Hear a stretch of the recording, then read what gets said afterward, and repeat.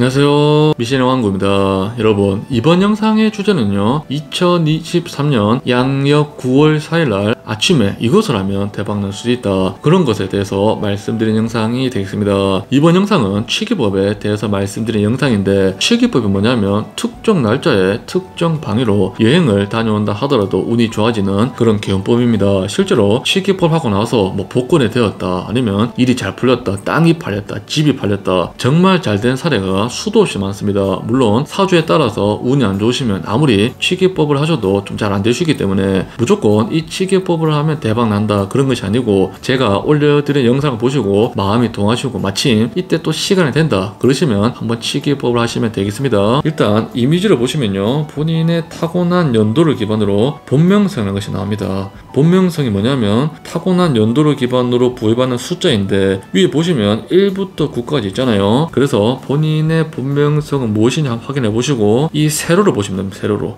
세로를 보시면 본인의 본명성을 확인할 수 있는데 만약에 1979년생이다. 그래 본명성 3이고 만약에 1988년생이다. 그러셔도 본명성이 3이거든요. 이런 식으로 본인의 본명성이 무엇인지 한번 확인해 보시길 바라고요. 양력 9월 4일날 대박나는 치기법 방위는 두 가지가 있습니다. 첫 번째는 동쪽입니다. 동쪽으로 가실 때는 본명성이 2와 9인 분들은 가셔도 딱히 좋지 못합니다. 그래서 나의 집을 기준으로 동쪽으로 약 3, 40km 이상이 떨어진 거리에 여행을 가시거나 이동을 하시면 좋다 할 수 있고요. 두 번째는 북쪽이거든요. 북쪽으로 치기법 이동하실 때도 본명성이 7과 9인 분들도 이동하시면 딱히 좋지 못합니다. 본명성이 2, 7, 9인 분들은 치기법을 딱히 안 좋다 말씀드렸잖아요. 그렇기 때문에 양력 9월 14일 날 또 치기법이 다가오거든요. 그때 시간이 되시면 한번 해보시길 바라고요. 이날에 도착 시간은 진시입니다. 진시는 아침 7시 반부터 9시 반 사이기 때문에 이 시간에만 도착을 하셔도 되고 전날에 도착하셔서 이 시간에 일어나셔도 상관없습니다. 그런 식으로 치기법을 하시면 좋은데 치기법을 하시기 전날에는 가급적 음주라든지 밤일이라든지 그런 것을 안 하시는 게 좋고 치기법을 다녀오신 날에도 바로 집에 들어가기보다는 큰 편의점이나 마트에 들려서 장을 보고 오는 것도 좋고요. 이 치기법의 장소에 가셔서 무엇을 하느냐 많은 분들이 질문을 하시던데 그냥 가셔서 2시간에서 한 4시간 정도 머물러 오시면 되고 시간이 없는 분들은 최소 2시간은 머물러 오시면 좋습니다. 왜냐면 갔다가 바로 오면 운을 받기도 애매하거든요. 최소한 2시간은 지나서 오시는 것이 좋다 할 수 있고 동쪽으로 가신 분들은 만약에 집에 식물이 없다 그러면 식물원이라든지 그런 곳을 방문하셔서 어떤 것을 구매하셔도 좋고요. 아니면 북쪽으로 가신 분들은 거기 가서 생수를 한 3통이나 6통 정도 사오셔도 좋습니다. 왜냐면 양력 9월 8일날 신유월이 시작되면 이 생수 개원법이 있는데 이 취기법 가셔서 사온 물을 두시면 또 좋거든요. 그래서 제가 말씀드리는 방위로 가셔서 시간에 맞춰서 이 취기법을 열심히 해보시고요. 취기법을 극대화하고 싶으시면 어떤 바램이 있다. 예를 들어서 내가 집주인에게 보증금 받고 싶다. 아니면 지인에게 돈을 받고 싶다. 그러시면 당일날 말고 적어도 취기법을 다녀오신 후 하루 이틀 지나거나 2, 3일 지나서 전화를 해서 내 바램을 실천하시면 좋고요. 오늘 영상은 여기서 마치겠습니다. 미신왕국 시청해주셔서 너무 감사합니다.